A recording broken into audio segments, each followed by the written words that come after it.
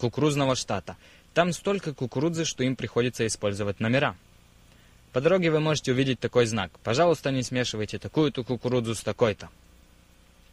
Но я вам могу сказать одно.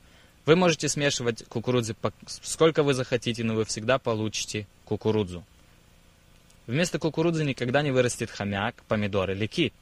Этого просто не случится. Все, что вы получите, это кукурузу. Разновидность случается. Есть много разновидностей собак, и у них, наверное, был общий предок. Собака. Это не эволюция, это разновидность. Есть разновидности коров, и у них, наверное, был общий предок тоже. Корова. Раз разновидность случается, но у нее есть границы. Этого эволюционист или не понимает, или не хочет признаться. У вариаций есть границы. Фермеры стараются вырастить больших свиней, не так ли? Они всегда стараются вырастить чем побольше размером. Вы думаете, они вырастят свинью размером, как Украина? А, нет. Я спорю, что этому есть где-то граница, правда? Они скажут, брат Хован, тараканы привыкают к яду. М да, они привыкают. Но я спорю, что этому есть граница. И они никогда не привыкнут к кувалде. Правда? Во-вторых, они не хотят понять или признаться, что эти происходящие вариации производят тот же вид животного. Это не эволюция, это вариация, друзья.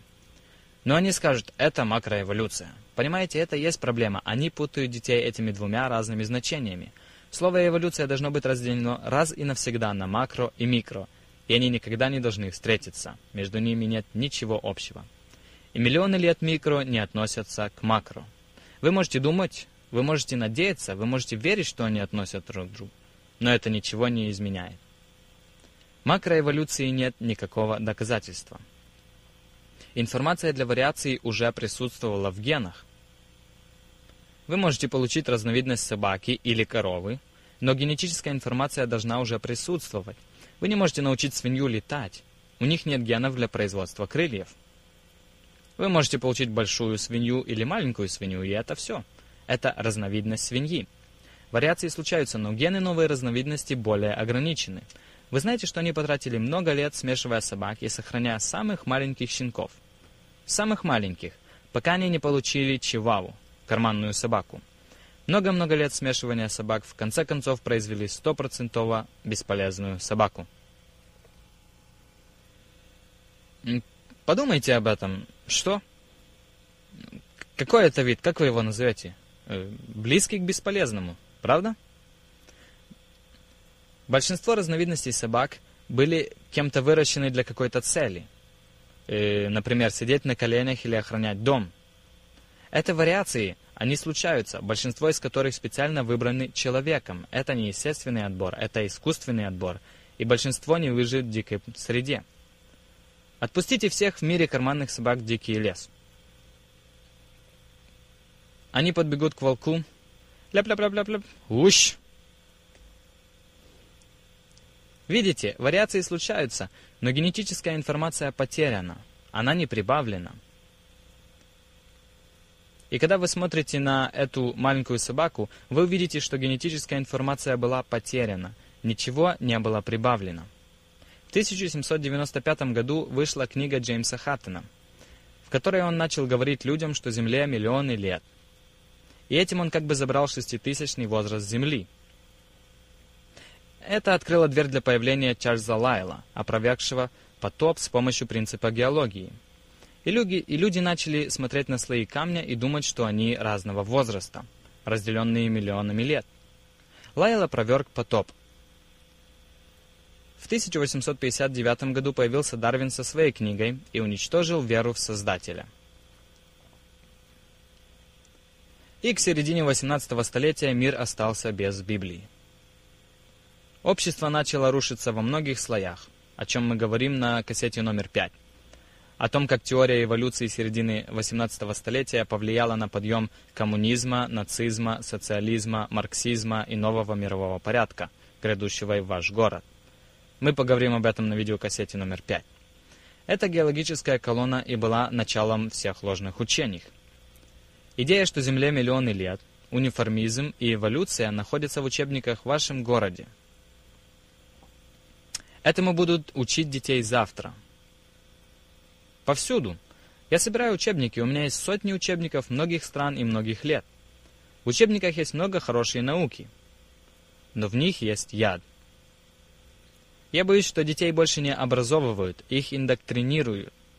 Учебники — это не книги о науке, потому что если бы это была настоящая наука, учебникам были бы представлены все варианты с возможностью выбора самого рассудительного.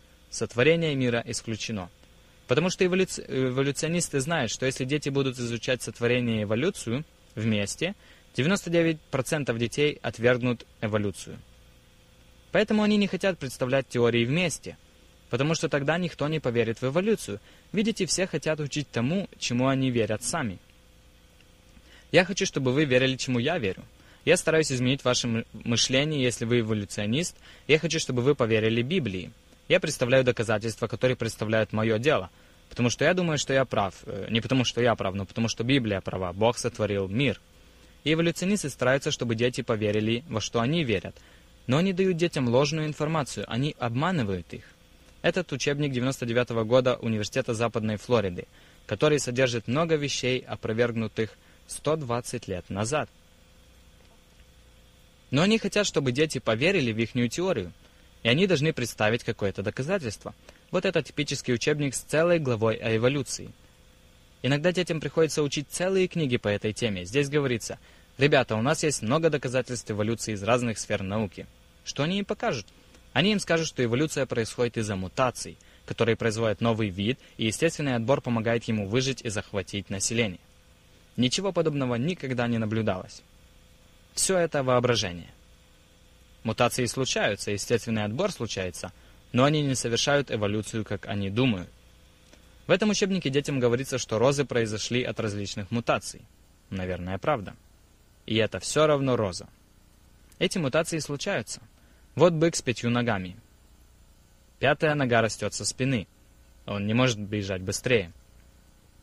Я хочу, чтобы вы заметили, что у быка выросла нога, а не крыло, перо или клюв. Мутация не может добавить новую информацию. Она может взять суще существующую информацию и перемешать ее. Это не помогает. Вот коротконогая овца. В этом учебнике говорится, эта мутация не выживет в природе. Хм, конечно нет, она будет первой овцой, которую схватит волк. «Убегайте, идет волк!» О, она не успела. Вот двуглавая черепаха. Это мутант, это не ниндзя.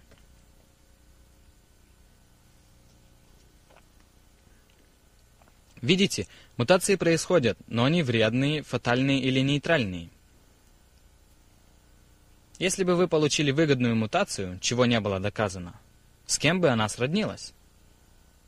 А? Вам нужно получить две мутации в одно и то же время, в одном и том же месте. Знаете, это большой мир. Понимаете, мутация — это перемешивание уже присутствующей информации. Это как взять буквы слова «машина», перемешать их и составить разные слова из этого слова. Но вы никогда не получите море, зебра или доллар из этих букв. Информация недоступна. И перемешивание существующего кода ДНК не составит ничего нового. Мутации ничуть не помогают теории эволюции. Но это все, что у них есть. Я говорю вам, это не поможет, друзья. И тогда они думают, что естественный отбор поможет. В этом учебнике говорится, что естественный отбор является причиной эволюции. Неправда, в этом нет ничего плохого. Естественный отбор происходит, креационисты подумали об этом первые. Естественный отбор происходит, но он не может создать ничего нового. Он точно не может наделить вас новыми качествами или новой информацией. Он только выбирает из существующих разновидностей и определяет, какая из них выживет. Если бы у вас был завод по производству машин, Обычно на заводе была бы секция контроля качества. Люди контролировали бы качество, отбирали брак и уничтожали бы его. И если бы у вас была секция контроля качества, которая бы замечала каждую ошибку, ничего бы не оставалось незамеченным.